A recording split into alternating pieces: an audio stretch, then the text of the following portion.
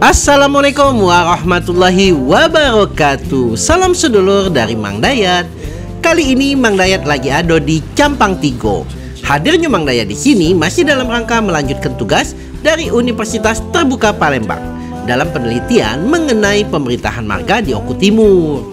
Namunnya penelitian marga tidak bisa terlepas dari peran para puyang. Dan salah satu puyang yang paling dikenal di sini adalah puyang tuan di pulau atau Tan di Pulau. Jadi Mang Raya dan tim akan menuju makam Tuan di Pulau. Tapi sebelum kita ke sana, kita kenalan dulu dengan desa yang kami lalui, yaitu Campang Tigo. Dan sebelum kita lanjut, Mang Dek ingetin dulu ya, tolong di subscribe dulu channel Mang Dayat dan jangan lupa klik tanda loncengnya. Dan selalu Mang Dayat doa ke penonton Mang Dayat bahagia selalu dan jauh dari musibah. Wong Palembang ada di bangku Syariat dijunjung. Senyum Sriwijaya Betua bijakmu mahkota Senyum nan indah Adalah senyum kita Desa Campang Tigo adalah salah satu desa yang ada di Kabupaten Oku Timur, Sumatera Selatan. Saat kita datang ke sini, kita akan ketemu dengan Tugu Meriam Besar. Ai gaganian ya, ikonnya di sini Meriam Besar. Daerah ini memang daerah yang bersejarah. Bahkan, putra Capang Tigo yang merupakan zuriat dari pemimpin Capang Tigo ini, yaitu Ahmad Bastari, tercatat pernah sebagai gubernur Sumatera Selatan.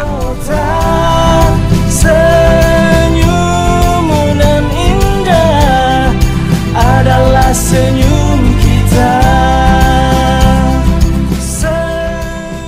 Desa Campang Tigo berjarak kurang lebih 150 km dari Palembang.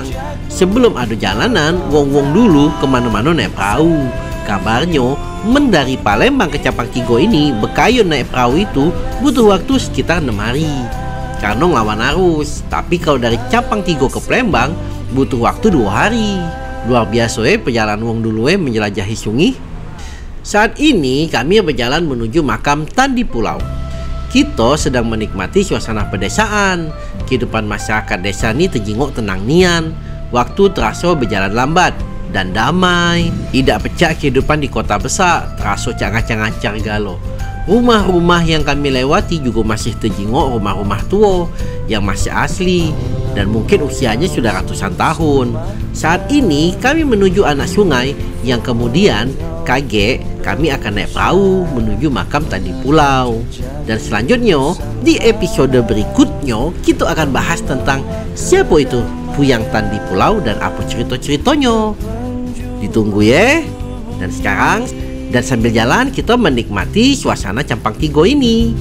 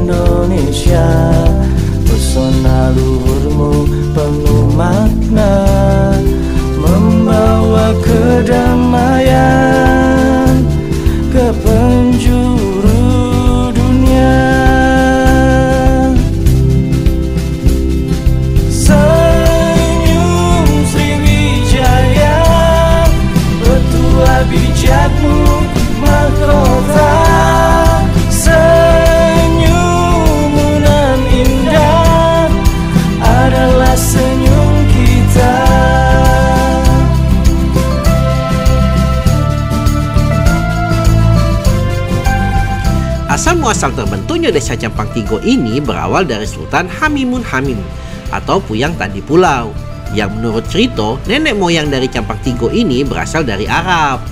Pada waktu itu, Puyang ini menetap di suatu tempat yang lahannya masih dikelilingi oleh sungai dan rawa-rawa. Desa ini dinamakan Desa Simpang Tigo karena memang terletak di persimpangan Tigo Arah. Waktu itu, pemimpin agama dipegang oleh Puyang Ratu Nyaman di bagian barat, Puyang Tanda Pasai di bagian timur, Puyang Tuan Syekh Abdurrahman di bagian utara, dan Puyang Penghulu Sabtu di bagian selatan. Berjalannya waktu dan pemerintahan yang baik dipimpin oleh Puyang Ratu Nyaman, akhirnya di suatu masa beliau meninggal dunia. dan diganti ke oleh anaknya Ahmad Daud.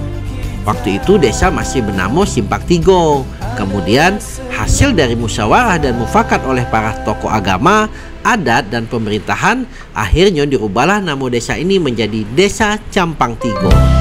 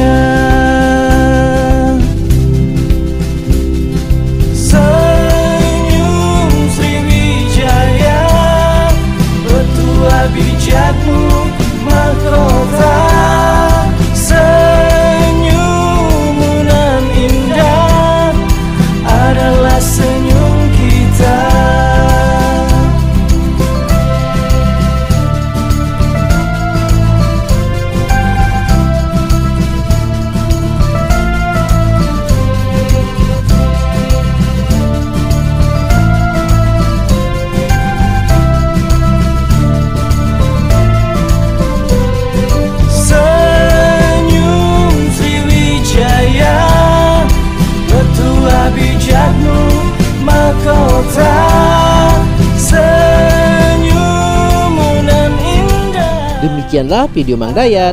Mudah-mudahan bisa nambah kasana pengetahuan kita tentang kota Palembang dan Sumatera Selatan pada umumnya. Kalau Mang Cek Bicek senang dengan video Mang Dayat, tolong di like dan komen membangunnya. Share juga kalau menurut Mang Cek Bicek bermanfaat. Kalau ada yang kurang berkenan baik dari narasi ataupun video, Mang Dayat mohon maaf. Kepada Allah Mang Dayat mohon ampun. Wassalamualaikum warahmatullahi wabarakatuh.